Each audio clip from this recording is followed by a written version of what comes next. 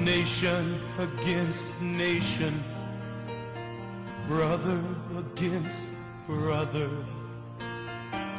So Good evening and welcome to Deliverance Church Langata. This is the Biblical Perspective Program.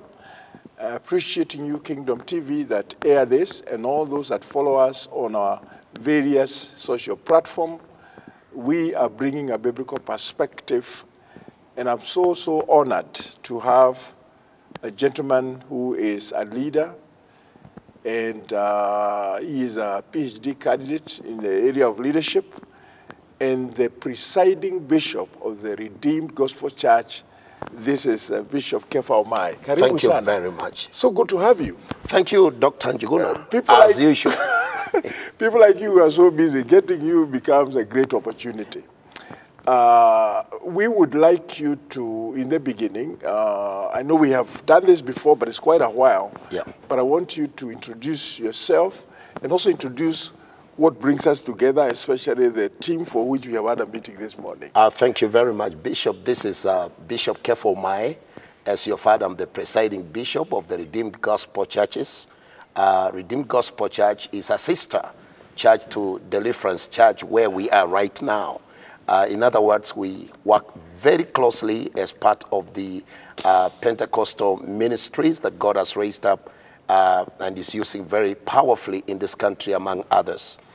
Uh, now, Bishop, you have uh, mentioned what is this that uh, uh, we are part of. Uh, I am the chairman of the Kenya Coalition of Church Alliances and Ministries, uh, KCCM. KCCM, that's Kenya Coalition of Church Alliances and Ministries, is the coming together of the registered evangelical Pentecostal charismatic umbrella bodies in this country uh, for one purpose, for collaboration. Number two, uh, so that we are able to advance the kingdom of God together and to speak with one voice on matters like what we are going to discuss right now together with Dr. Njuguna. There is an area in which I want us to, as we begin this program, and I want us to make a comment. This is a biblical perspective. Right. I want us to have a discussion around the passage in the book of Acts 17 26. Yeah. And this passage says, From one man he made every nation of men that they should inhabit the whole earth. Yeah. And he determined their appointed times and the boundaries of their lands. Right. In the context of Kenya, Bishop, what does this passage mean? You see, uh, Bishop, it is true that God Yes, created us yes, uh, for a reason and for a purpose. right, And He created us with different diversities. right.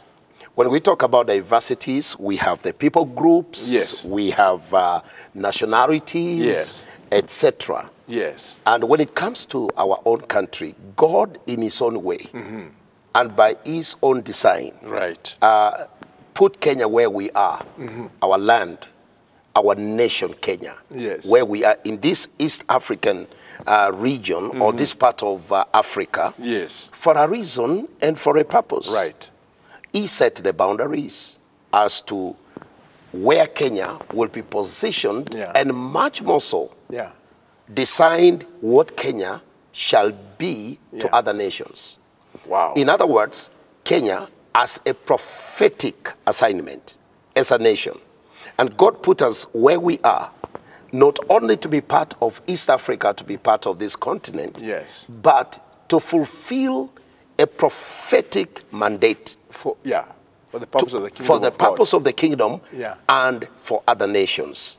So Kenya exists for a reason and for a purpose. and All as we keep on in this discussion, we'll be talking about it. So Yeah. we have our own uniqueness Yeah. as a nation and with uh, the diversities that we have in this country. Yeah, to we have had a prophetic uh, mantle as a nation. Yeah. and I'm private, and most people maybe are that Kenya is a gateway nation. Right. There are five countries which have been distinguished as significant Right. in God's purpose for Africa, mm. and Kenya is one of them. Right. Then we have Nigeria. Right. Then we have South Africa. Right. Then we have Ghana. Mm. And then we have Uganda. Right. Many people who do not come from these nations maybe will, will think that I'm saying Kenya is there because I'm Kenyan. But I know that's not the reason. Because the people who have given these prophetic pronunciations are not even actually Kenyans. Right. Now, my friend Bishop, one of the things that have been very, very serious about our country is the manner in which we approach elections and the way elections d- divide us along tribal lines. Right. I'm glad I'm talking to somebody who is from, from, from, from the Nyanza region Right. originally, Right. and I'm from the central region. Right. We are very good friends. Oh, yeah. I can, you would know that I can keep your back anytime That's it. because we have a relationship, but our unity is in Christ. It's in Christ. Do you understand that? That's it. What are we going to do so that we do not allow politicians in every election to divide us along our tribal lines Yeah. and along our party lines? Yeah. Because right now we have a reason as men of God. This congregation where we are recording this, we are, cos- we are completely cosmopolitan. Right. I have people from all over the nation. Mm. One time I did a survey and discovered I had 14 major people groups as part of this congregation. I'm telling you. And those are years back, actually, when I was doing my master's. yes. Now that has even changed, has increased. Yeah. And what I did, especially when it comes to electioneering time, I am very, very deliberate because I want to guide them as their pastor, but I also want to be very careful because I don't want to injure the hearts of Right, everyone. right. So I kept telling them, listen, we are going into an election. The Bible says that when we go into an election, the purpose of an election is to to, to, to deal to- with the aspect of quarrel. Actually, Proverbs 18 18 says that. Yeah. A, a very, very interesting passage. That when we go to election, it is supposed to divide between two strong men. And in our context, in this election that has just ended, we had two people, very, very strong contenders. One of, the, one of them was a former prime minister, uh, and the other one was the, uh, the immediate Deputy uh, president. deputy president, who is now president-elect. Hmm. Mighty people who are people who are just you know very very strong. According to the passage that we, we are talking about, we, we, we do know this passage of Proverbs 18 18 says, The lot, which is a vote, hmm. causeth contentions to cease. Hmm. Note that. and parteth between the mighty. Now, I want to ask you a question, Bishop. From all your theological study and everything you know as a man of God, why is it in Kenya, instead of the vote causing contentions to cease, that voting causes contention to increase? You know, Bishop, you have said uh, several things in one statement. Yeah. And I want to be very emphatic Yeah. because we are helping our people, Yeah. the viewers that are Heal. watching this program. Yeah, yeah. Uh, first of all, to be knowledgeable. Yeah. Number two, to come to terms with uh, what has happened and much more so heal from some of the disappointments, uh, some of the frustrations, etc. And I want to begin by saying what we are seeing in this part of uh, the continent in our country Yeah. is bad politics. Because if we are to talk of uh, what politics is, politics is simply politicking. That means contending for Yes. governance, Governance, yes. positions, Yes. leadership Yes. positions. And when we talk about governance positions, we are talking of uh, a leadership that is meant to take care of the resources Yeah. of a nation, Yes. the resources of a community, Yes. and make sure that the lives of the citizens or the lives of uh, the subjects of uh, a, a country, like, for example, in our case, our people in this country benefit out of the good governance Yeah. and stewardship of the resources that God has endowed us with. And that is what actually, as far as I'm concerned, that's what governance is all about. yes. Which is part of, uh, uh, it, is, uh, it, it is actual, poli- politics is simply contesting for uh, governance positions, like I've said, for the purpose of uh, stewarding or taking care of the resources, uh, like I've said, of a country, of a community, etc. Now, coming to what you have said, when you look at the kind of politics that are done in this country, Yeah. honestly speaking, Bishop, um, to me, I need to help viewers to understand. Yeah. Partly, it's not what politics, is all about. to be, yes. Because much of what we have seen in this country, and of course in other countries, Yeah. uh, especially in this part of the continent, Continent, yes. is um, it borders on uh, cutting others to size, so to say. Yeah. using propaganda, Yes. misinformation, Yeah. and disinformation. Yes. I know I'm supposed to get that position, Mm. and you are a contender. Yeah. You are my competitor. So Yes. what I'll do is uh, I will make use of the propaganda strategies, Yeah. Taint you so badly, Yeah. cut you down to size, etc., and make that a narrative. Yeah. And I run with it instead of our politics being issue based. Mm-hmm. So now, when we people in this country mm. pay so much attention Yeah. to that kind of approach, mm. what do you expect? Propaganda, misinformation, disinformation, blackmailing, etc. What do you expect the people of a country like Kenya Yeah. to do? Wow. They will Wow. actually take the propaganda as if it's the gospel truth about Yeah. the person. So much of what we have had, especially in the campaigns that are over, was actually um, propaganda, was disinformation, was misinformation, name calling, and there was too much noise that crowded all those narratives to the extent that we began to see some of the competitors as evil. We began to see some of the competitors as if they cannot be in a position to lead. Mm. And that's why one day I stood on our church altar and I made it mm. very clear mm. that we must learn as a people of God to separate noise Noise. from truth Yes. noise from facts. Mm-hmm. Because much of what you were hearing mm-hmm. during the campaign trails were noise, mm-hmm. all right? It was all noise, but the truth of the matter is, when people settled, they began to realize wait a minute, apart from what I was hearing, let me check the background of this person, let me check his performance, let's check the manifesto. What is this person talking about?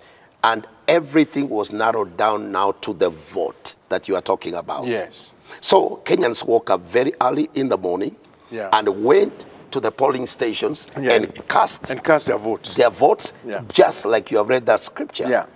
And Kenyans went to cast their votes not for contention. Not for contention. No, no, no, no. Yeah. And you you'll agree with me that our people actually went to vote peacefully. Oh, yeah. I remember going to the polling station where I cast my vote, and uh, believe you me, there was such calmness, there Yeah. was such uh, uh, peace, tranquility at the polling station, and uh, people were casting their votes and going home Right. to continue with their daily activities.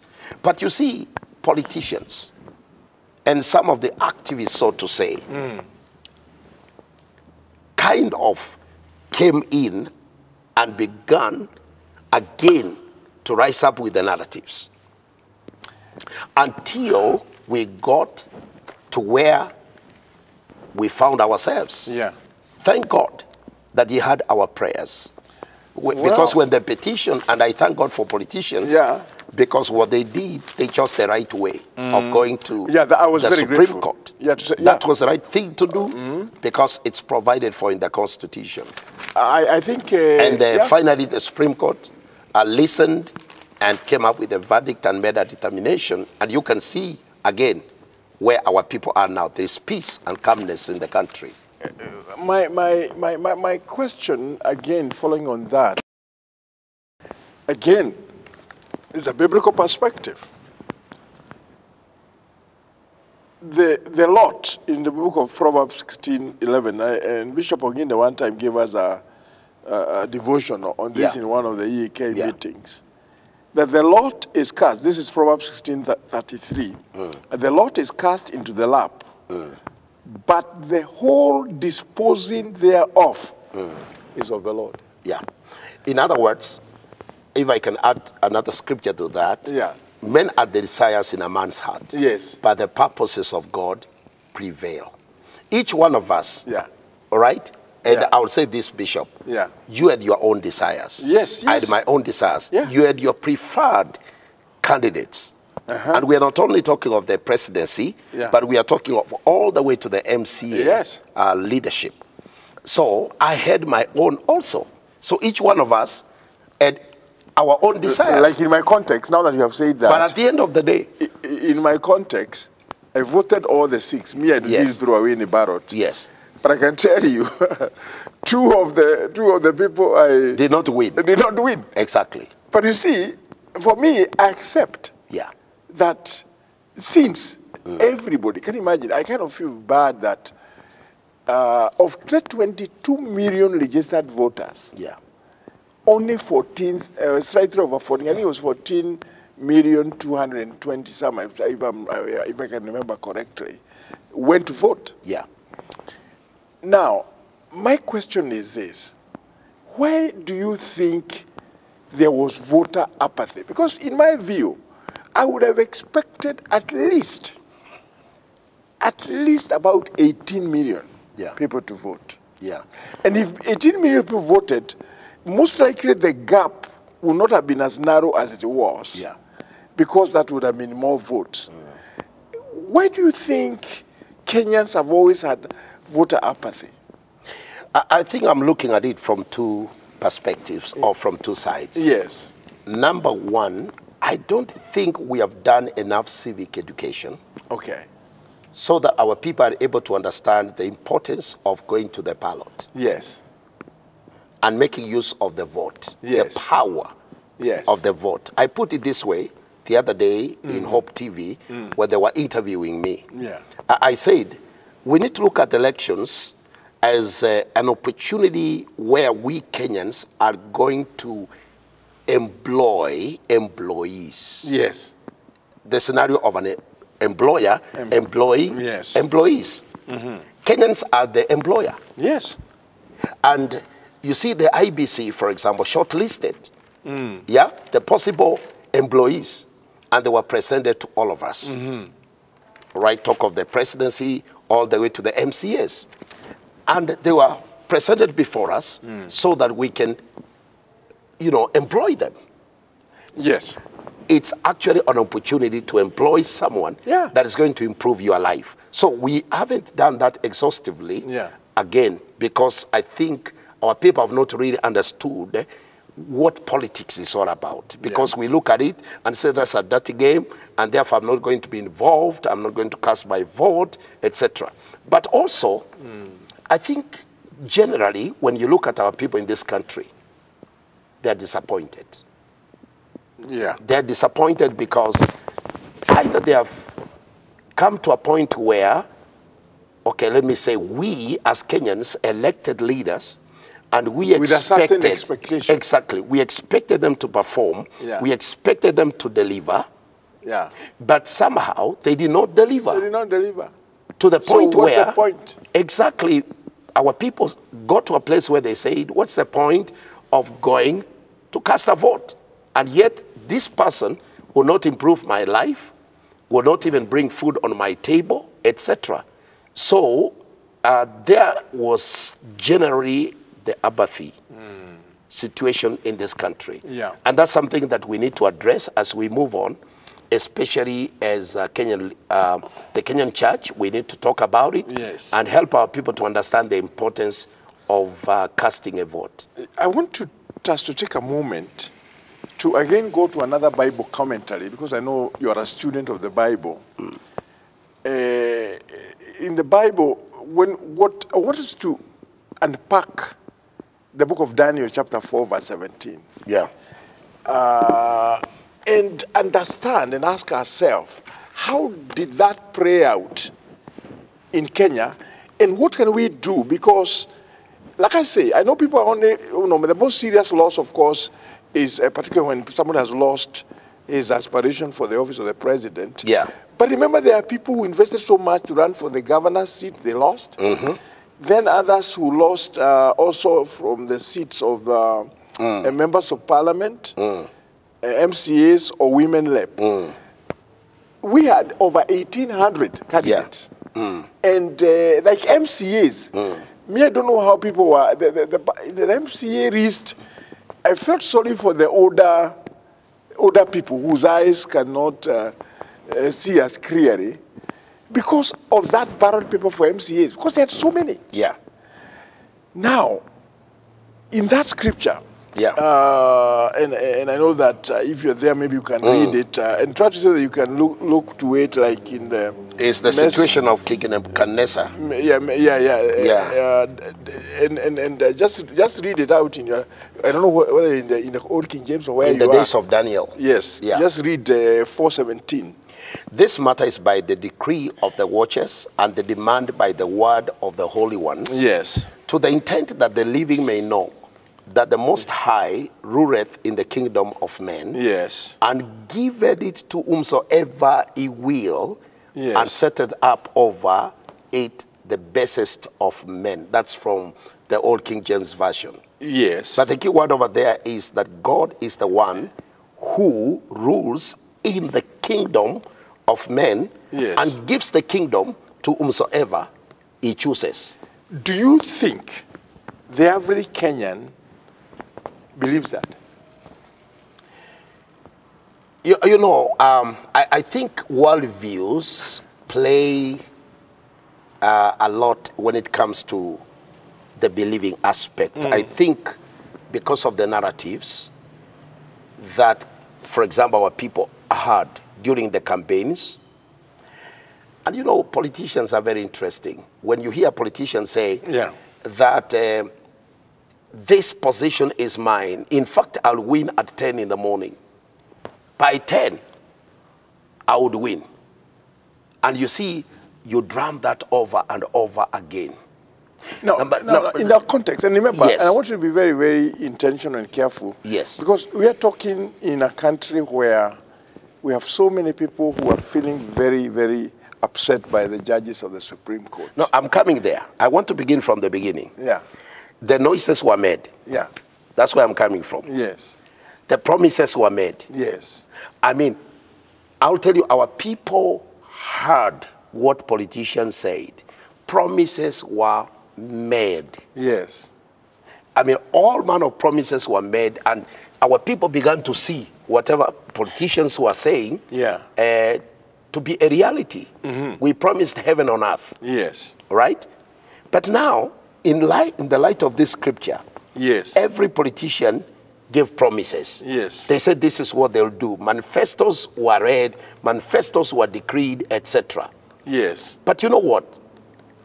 On that fateful day yes, of casting the votes, every Kenyan woke up in the morning. Hmm. I don't know about you, Bishop, yeah, but in my mind, as I was going to the polling station, hmm.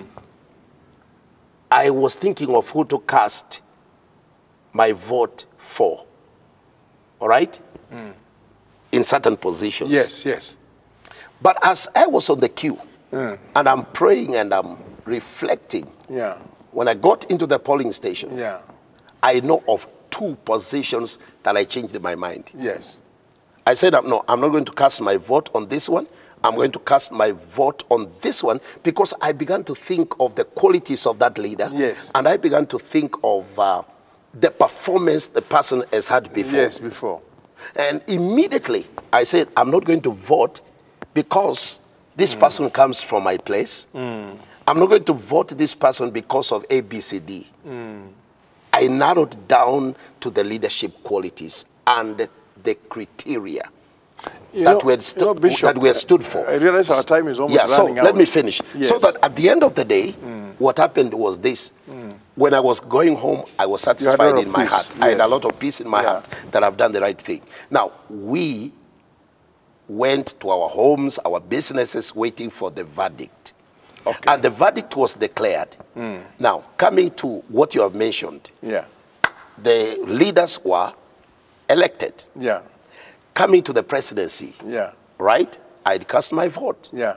And I waited for the declaration. Yeah. You were at the Bomas of Kenya. Yes. And I was watching everything that was going on while in prayer at the same time asking God for intervention. Yeah. Now, of course, like we said again, there are those hmm. who are grieved, they went ahead, and the, Supreme Court finally made a verdict. I will tell you from deep within my heart, hmm. I believe there, there is a reason as to why we have the Supreme Court, hmm. and the, the Supreme Court listened, they paid attention to what was presented before them, Yeah. and came up with a determination. So, Yes. as a responsible Kenyan and as a leader, I Yeah. have no other obligation, all right, to challenge the mm. verdict of the Supreme Court. Yeah. And this is the clarion call Yeah. that I would wish to give to all leaders Yes. and especially our people mm. that the Supreme Court made the determination. Why can't we rest it there You see, and move on? let me, put it this way uh, before, uh, before we get out of this.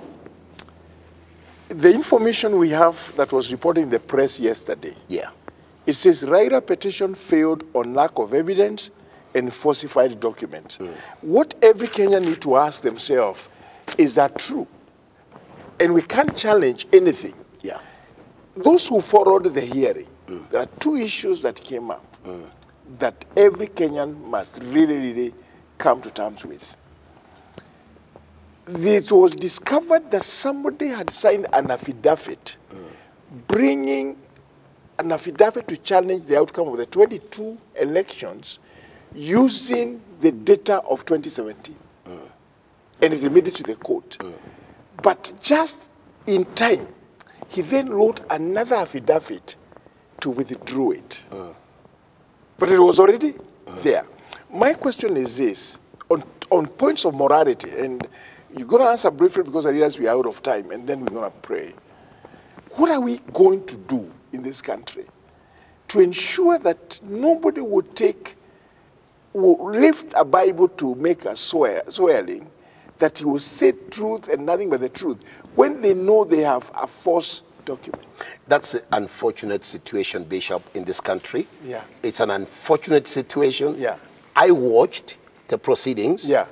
up to the determination. Yes. And I'm sorry to say, Yeah. chapter 6 of the Constitution Yeah. need to apply across the board. Thank you. I want you to pray. Our loving Father, in the name of Jesus Christ, we thank you for this session that we have had, looking at what has happened in this great nation, Thank and you, much more so, dear Father, to know that we prayed and we have prayed. yes, yes. You have taken over. Hmm. And this nation is in your hands. This nation is in your heart. Father, I pray that you may take over. Let there be healing in this nation and let your purposes prevail as we trust you for the greatest move of God that is about to hit this nation. Thank you, Lord, for hearing this prayer. And thank you for this program and your servant. May your name be glorified even for the interactive programs hereafter. In Jesus' name we pray.